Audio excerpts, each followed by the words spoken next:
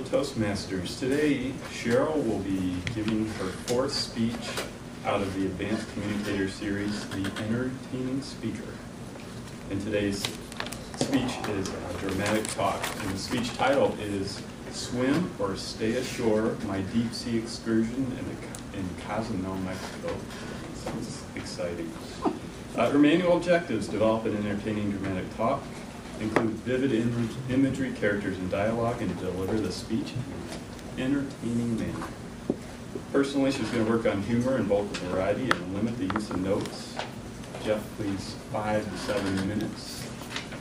And without further ado, Cheryl.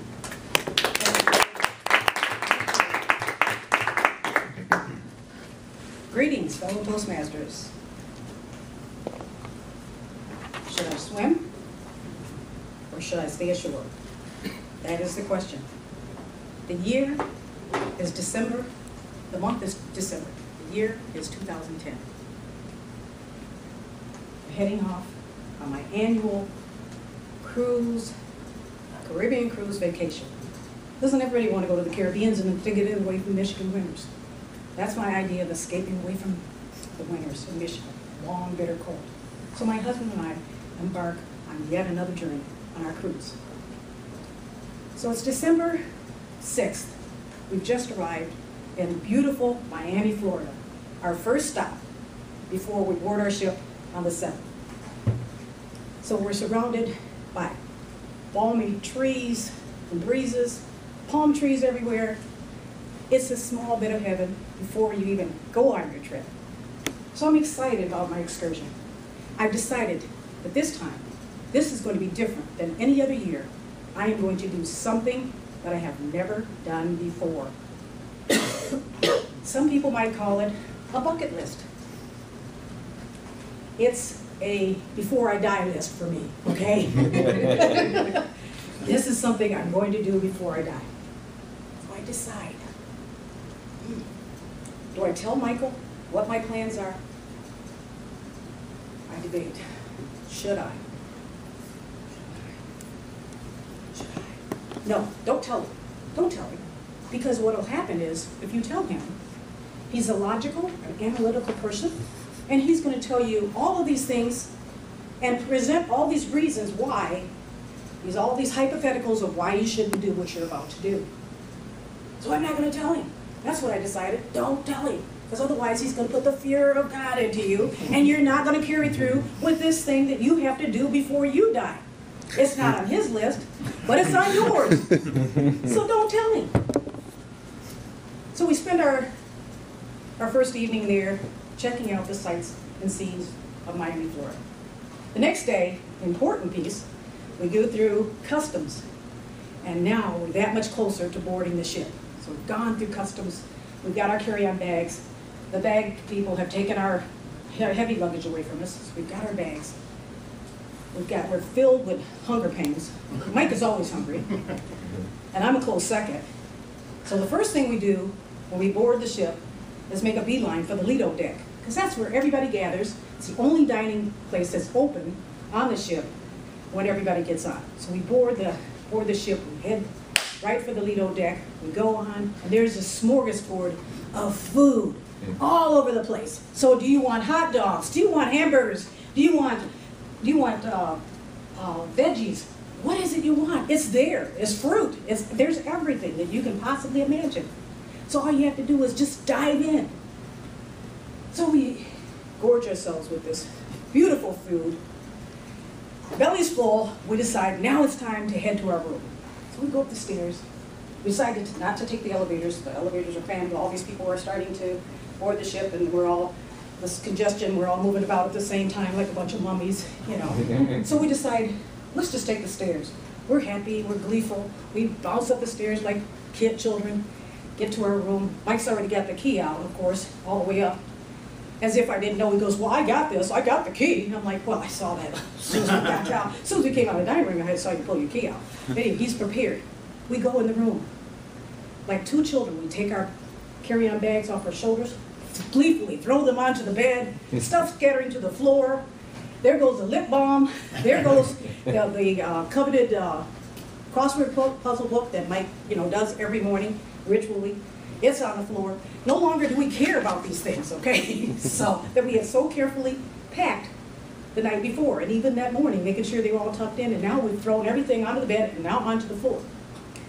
First thing Mike does is head, heads to the, the heavy door that leads out onto the deck. So we have our own private little balcony. So he opens the door and steps out.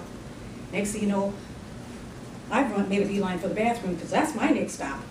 Before I can even get out of the bathroom, Michael's shouting to me, Cheryl, come, come here, you gotta see this, you gotta see this. Hold on just a second, but come on now, you're gonna miss it. I'm like, can I get my pants up, please? So anyway, I get my, pull myself together and I cross the threshold out onto the deck. Where we're looking at this vast expanse of ocean and all the, all the people still down below at the port. And the ship is pulling in its last, the anchors, pulling in the anchors and getting ready for, for debarkation. So it's four o'clock, it's nearing. The horn begins to sound. We set sail. So now, what's our next plan of, of action? What are we gonna do next? Well, we've gotta book that shore excursion, okay? The one I haven't told Michael about, what I'm gonna do. Am I gonna swim? Or I'm gonna stay ashore? So we go down to the Lido, we go down to the, the lower deck. Make our arrangements for our shore excursions. Michael's decided he's going to Mayan ruins. We're in Cozumel, Mexico, of course. He's going to the Mayan ruins. I want the Mayan ruins too, but I have decided the other event is much more important for me because it's on my do before I die list. So I booked my shore excursion, which is going to be, hold on, she's going snorkeling. so I got my ticket. Next morning, I'm on to the gangplank, out of the pier, ready for my excursion. I get there, there's not one person with a snorkeling sign, but there are two men standing out there holding a snorkeling sign. So all of a sudden, I had this pit in the bottom of my stomach of anxiety and fear, and I'm like, oh my, there's two of them. There's only supposed to be one snorkeling excursion as far as I'm concerned.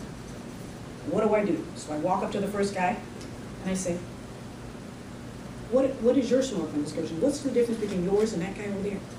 He says, well, that guy over there, he's just gonna take people across the shore, over shore there, and they're gonna get on the beach, and they're gonna go snorkeling like that. So I said, well, what is this, for? what are you doing? Well, this one, we're gonna go out to the reef, and you are gonna dive off the back of the boat. And you are gonna swim, and you're gonna see all the coral and, you know, fish and the starfish and all this great stuff. I'm like, uh, I don't think so. He said, let me see your ticket. So I hand him my ticket, he looks at it, he says, hmm, you belong to me. And I said, excuse me, I belong to no one, okay? I am not going on your boat, and I'm not going out to a reef, and I'm not going to jump off, because I am inexperienced. I thought I was doing what the group over there was doing with the other guy, okay? So I get on this boat. Ended up, I am on the boat. Who's the last one off the boat? All these experienced snorkelers are jumping off like little fish into the water with their little fins. Last thing I can see is flapping the fins, and then I'm the last one, and they go, it's time. We have to go. And I'm like, yeah, I can't. I haven't done this before. I thought I was gonna be on a sandy beach and I was gonna walk out there and I was gonna just snorkel like that at my own, you know, level. So suddenly, they tell me, I have no other options. My husband's climbing the mountains somewhere in Mayan ruins. He doesn't care if I'm gone or not, or if I'm gonna live or die. So I decide, I'm gonna do this. This is on your list of things to do. Remember, you said before you die, if you die doing it, well, it's all good. Go for it. Take the dive. First thing I do, immediately slink, sink, and I start gurgling and I go, help! And they say, calm down, please, you, you calm down, we're not gonna let you die. We're not gonna let you die. I had already bought a camera, I was all ready for this adventure. So what do I do? I go for it. I've got my underwater camera, I begin to relax, I'm like, you know how to swim, just go for it. So at the end of the day, it's either swim or stay ashore. And this girl swam.